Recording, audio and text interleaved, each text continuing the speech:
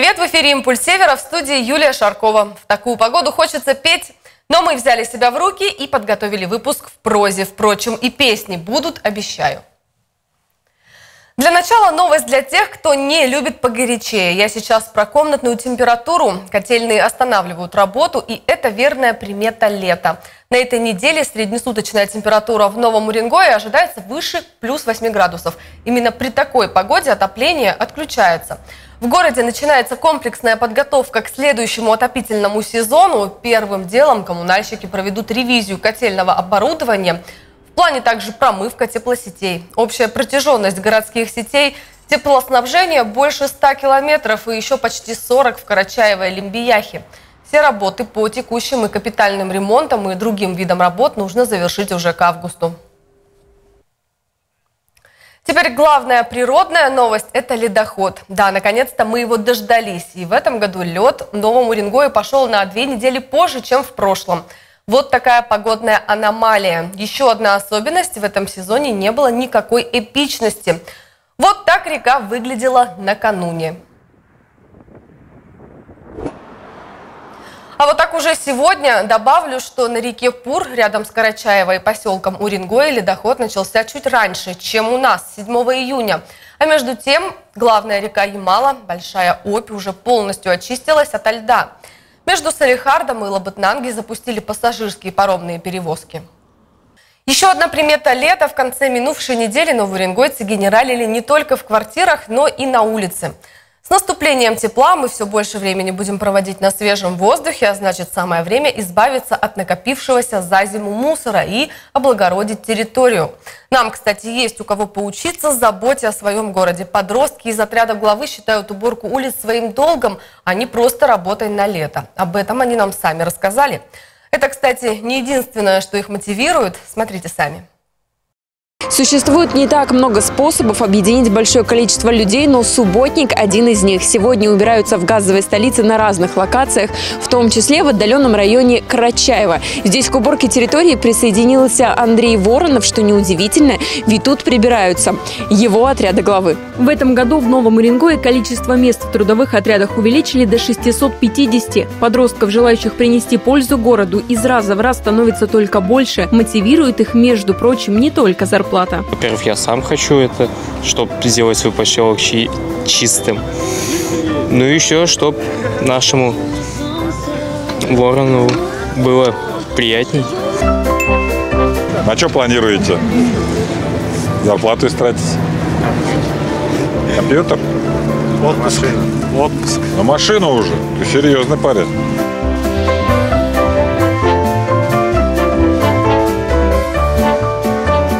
Работаю в отрядах главы города. Ну, можно сказать, это мой долг убирать, ну вот, за не, таких неответственных людей. Они не замечают того труда, что делают, можно сказать, уборщики территории.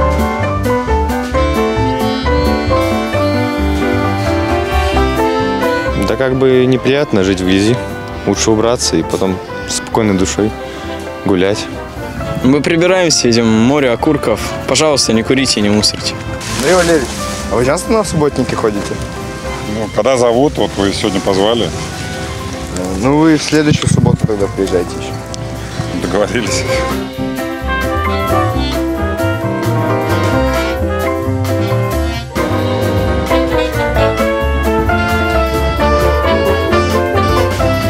Это помогает не только сплотиться, но и очистить территорию. Выходить на субботник с главой города оказалось особенно приятно. Он и в деле поможет, и угостит мороженым в жаркий летний день. Нам, кстати, тоже повезло, хоть и не с первого раза. А ты еще? А кто кому? Я здесь. Андрей Валерьевич. Я корреспондент просто. Вернулся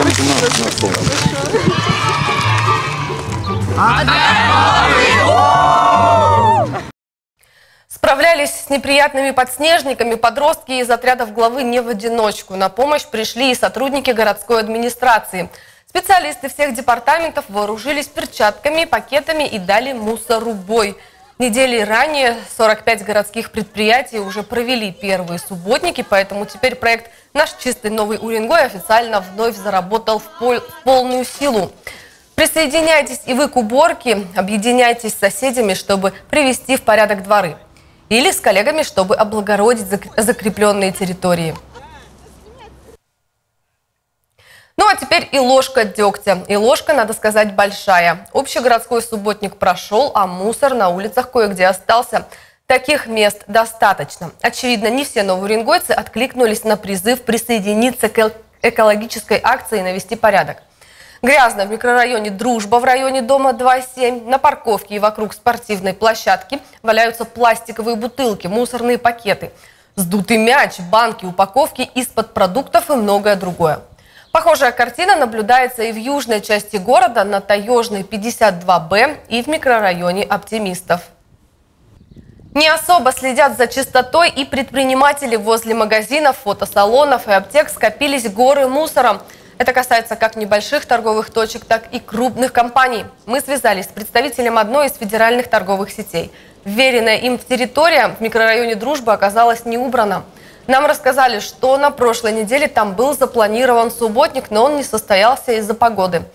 Как нас заверили, до пятницы все уберут. Берем ситуацию на контроль. Найти и спасти для новоуренгойцев впервые прошла масштабная школа поисковика.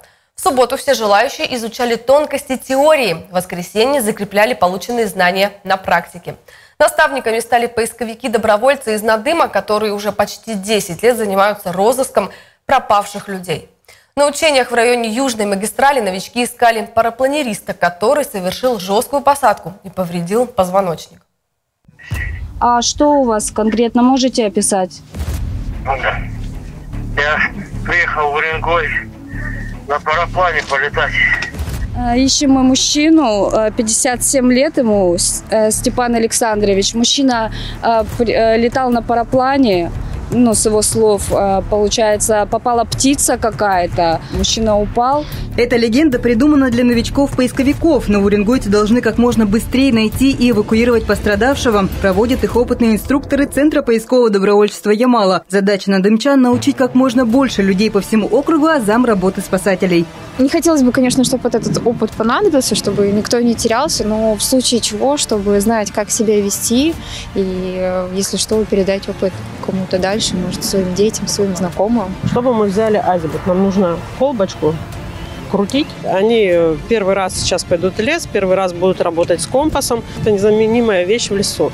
Азимут э, должны и обязаны знать все. Умение определять азимут – это полдела. Главное – научиться использовать эти данные при навигации на местности. Перед вами будет карта, да? Э, я вам покажу, где мы находимся. Еще будет круче, если вы сами найдете, где мы находимся. И вы попробуете, э, так сказать, принять групповое решение. Э, что вам делать? Кураторы делят новичков-добровольцев на две группы. Спортивный интерес здесь тоже присутствует. Нас с оператором отправляют прочесывать лес с первой командой. Мага, проверь, пожалуйста. Пока мы еще даже не дошли до места, до места где мы можем, можем начать. Мне кажется, ребята как минимум стараются. Понятное дело, что они только начинают. Но рвение у них, конечно, отличное, сами видите. Новичкам кажется, что впереди предполагаемый объект поиска, но это просто отдыхающий. Просто отдыхаю, гуляю, как бы наслаждаюсь природой. Ну, немножко удивился. Все ноги промочили, думали, уже обратно в штаб надо идти, а тут искать дальше. Шел третий час поисков.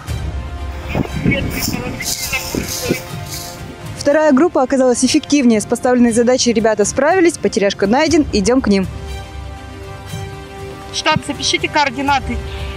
Принято, отлично. А, сохраните в навигаторах а, точку, где найдено. Наша старшая Ольга, она новичок, она вчера первый раз к нам пришла.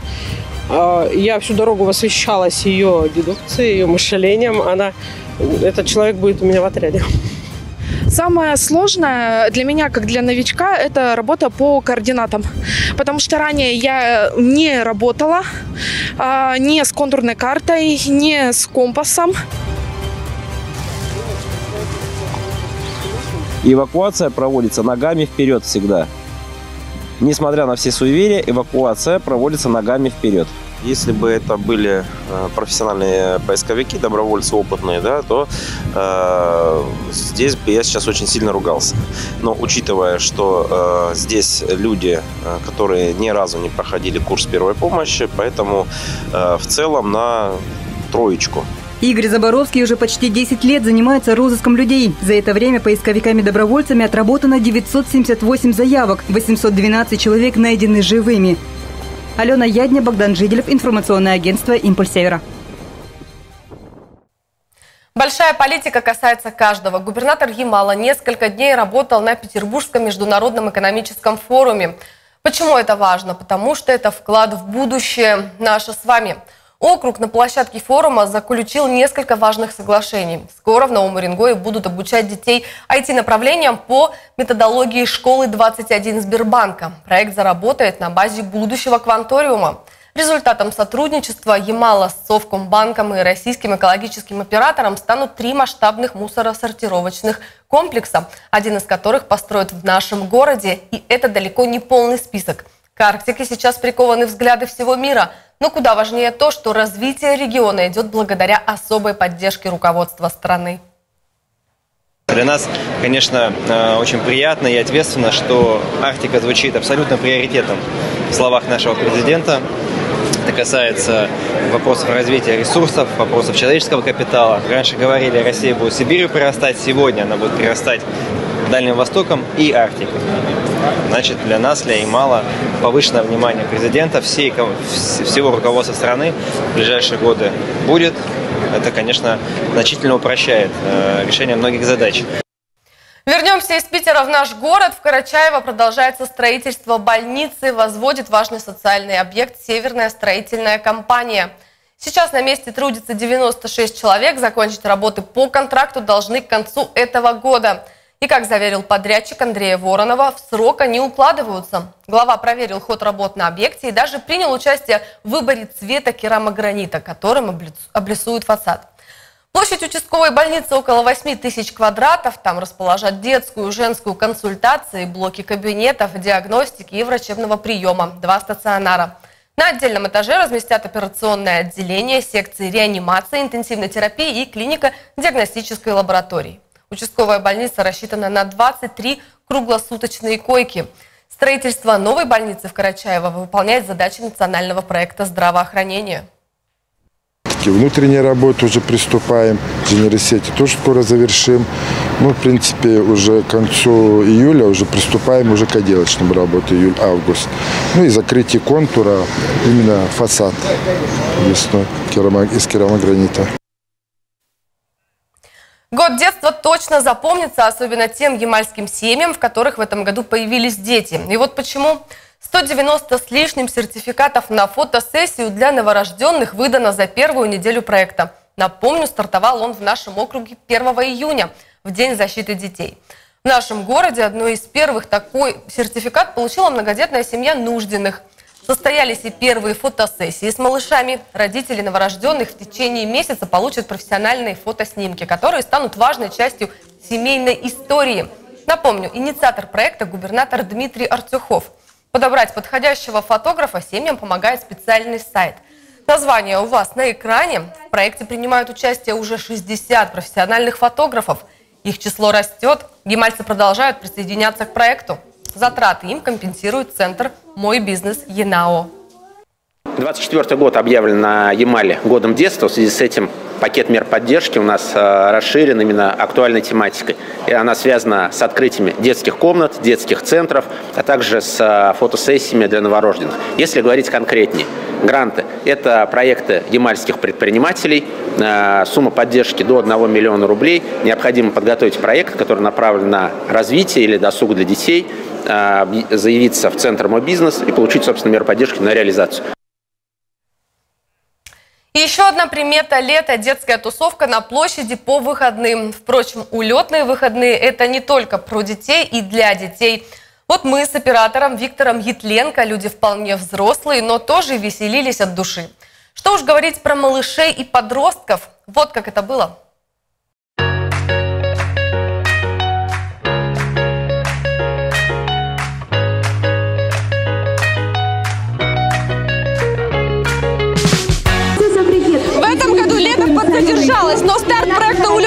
Выходные буквально притянул тепло в наш северный город. Сейчас на городской площади жарко вдвойне. Во-первых, нас согревает яркое солнце. Во-вторых, конечно же, атмосфера, которую создают собравшиеся. Ну и в этом году проект посвящен году детства и году семьи, а это вдвойне здорово. Поэтому поехали!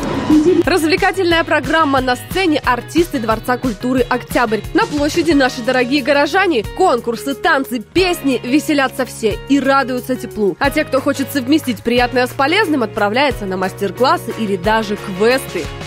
Важная для нас часть этого праздника – это реализация проекта «Легенды Ямала» в память о первых. Библиотеки подключились к этому проекту, и в течение всего лета мы будем проводить квиз. Квиз «Вспомним первых», в котором каждый житель может принять участие и получить призы. Фу, как жарко и солнечно, но уренгойцы так долго ждали лета, что вот даже родилась акция «Приветствие лету». Сейчас все узнаем. Здравствуйте, расскажите, что тут можно сделать?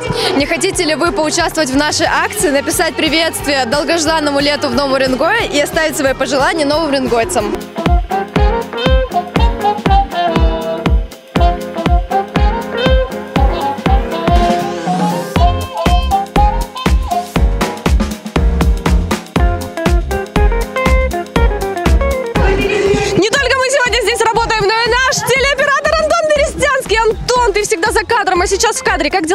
Нормально. Все нормально. Ты рад теплу? Нет. Да он шутит, ты же шутишь. Нет. Вы с кем сюда пришли? С детьми, с дочками. Для них тоже сегодня прям праздник. Я думаю, у них всегда праздник. У маленьких всегда праздник. Любую погоду? Да. Нам надо у них поучиться. Да. Здравствуйте! А вы кто? Я лиса. Лиса! Нет, не жарко. Круто! Улетно! Что вам тут нравится больше всего сегодня? Покушать, ну типа тут. А какие планы на лето у тебя? Э, спать, гулять, э, вкусно покушать. Весело? Очень, очень весело, тепло. Не то, то, что как будешь? Играть. Танцевать будешь? Не, не хочу. Почему? Настроения нет танцевать. Не танцевально? Я выступала.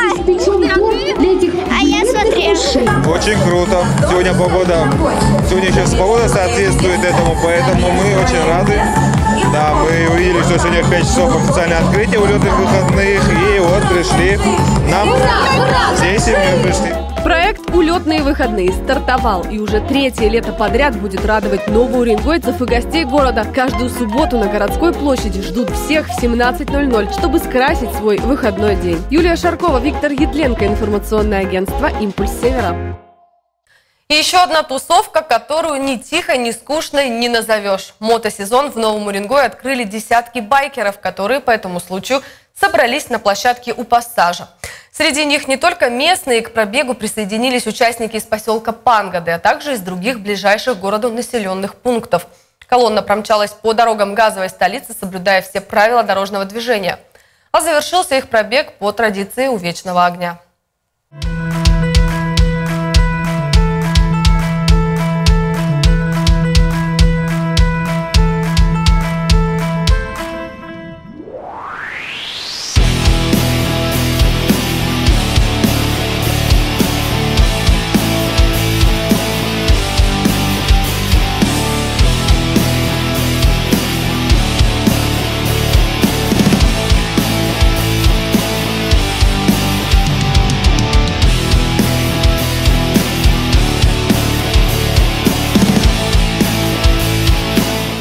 Я не один сюда приехал, нас приехало четверо, но те, кто смогли.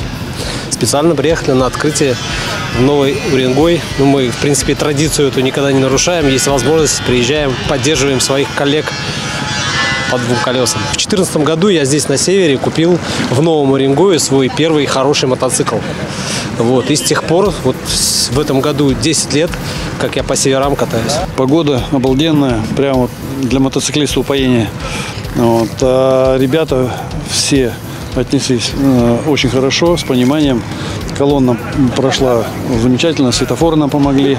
Ну, естественно, э, служба ГИБДД оказала тоже свое содействие. Все получилось, все нормально, все отлично. Значит, лето будет, я думаю, для нас хорошее. Каким будет это лето, во многом зависит от нас. Помните, в начале выпуска я сказала про то, что хочется петь. И пообещала, что песни будут. Ну вот, слушайте. От участников проекта «Наш чистый новый Уренгой» нам теперь достался не только освобожденный от мусора город, они подарили нам этот гимн чистоте, любви к родному городу. Мы трудимся на разных предприятиях, но нас объединила цель одна. Мечтаем, чтобы лучший город на планете Стал чистым и зеленым навсегда. Совсем не важно, стар